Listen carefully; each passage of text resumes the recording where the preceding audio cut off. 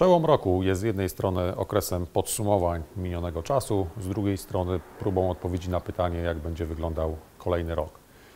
W styczniowym bilansie przypomnimy sobie wydarzenia 2017 roku, jakie stopy zwrotu osiągały najbardziej zyskowne klasy aktywów, jaka była koniunktura rynkowa, co na nią wpływało, jak to przekładało się na rynek funduszy inwestycyjnych? I na koniec zastanowimy się, jaki może być rok 2018.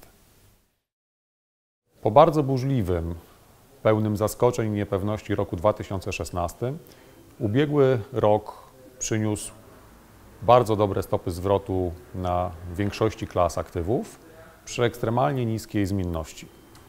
Hitem inwestycyjnym były rynki wschodzące.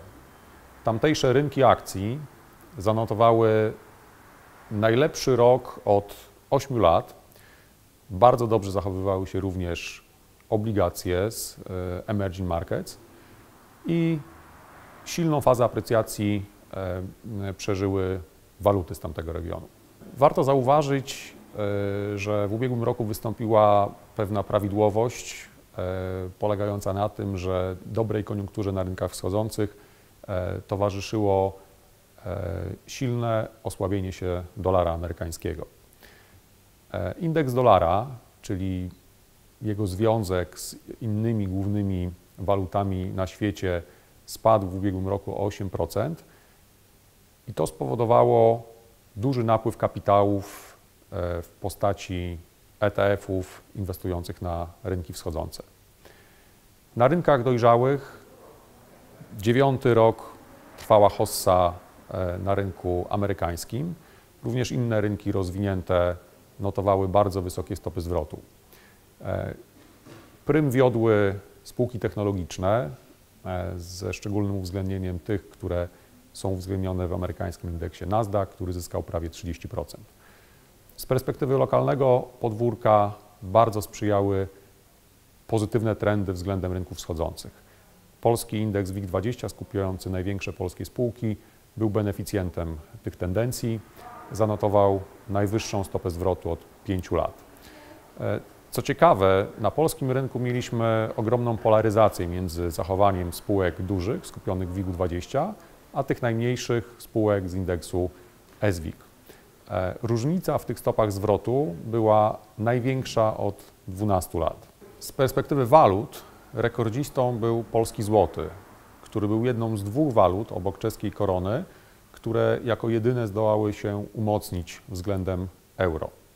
Z kolei aprecjacja złotówki względem dolara była największa od 13 lat. Czym tłumaczyć takie zachowanie rynków?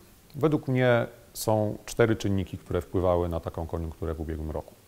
Po pierwsze, w skali świata byliśmy świadkami istotnej poprawy aktywności gospodarczej i to zarówno w obszarze rynków rozwiniętych, jak i w obszarze rynków wschodzących.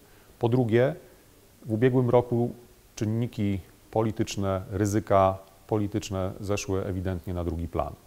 Po trzecie, banki centralne bardzo umiejętnie komunikowały się z rynkami finansowymi w kontekście prowadzenia zacieśniania polityki monetarnej, co nie przeszkodziło uzyskiwać dodatnich stóp zwrotu z rynków dłużnych.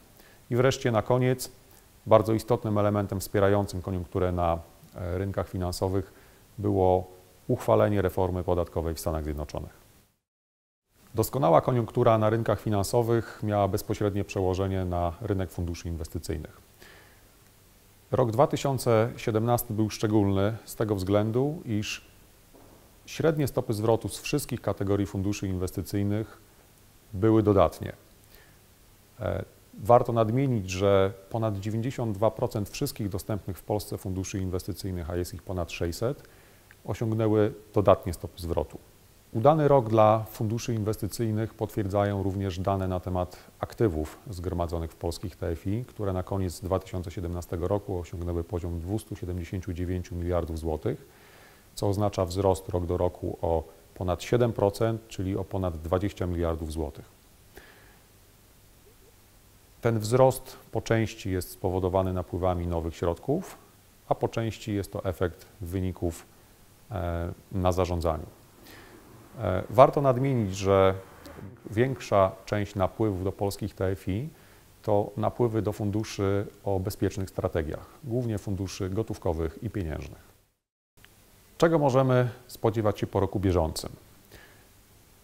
To, co obserwujemy z perspektywy danych makroekonomicznych, czyli wciąż trwający zsynchronizowany wzrost aktywności gospodarczej w skali całego świata, umiarkowana inflacja i dość spokojne podejście banków centralnych do procesu zaostrzania polityki monetarnej pozwala na snucie dość optymistycznych prognoz dla ryzykownych klas aktywów w roku 2018.